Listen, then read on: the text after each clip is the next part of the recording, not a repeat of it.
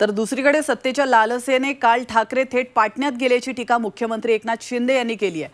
लालू यादवांच्या मांडीला मांडी लावून बसलेले आता मुंबईत भ्रष्टाचाराची आवई उठवून एक जुलैला मोर्चा काढणार आहेत अशी टीका त्यांनी ट्विटरवरून केली आहे.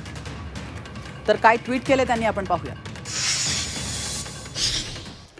भ्रष्टाचारावर मोर्चाचा नैतिक अधिकार आहे का असा प्रश्न शिंदे यांनी विचारला होता आणि त्यांनी ट्विट करून फक्त दोन वेळा मंत्रालय काल सत्तेच्या लालसेने थेट पाटण्याला गेले.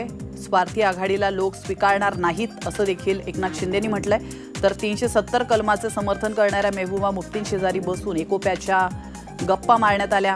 मुंबईतल्या भ्रष्टाचारी आवाई उठवून एक जुलैला ते मोर्चा काढणार आहेत. आणि त्याचा त्यांना नैतिक अधिकार तरी आहे का असा प्रश्न एकनाथ शिंदे यांनी विचारला आहे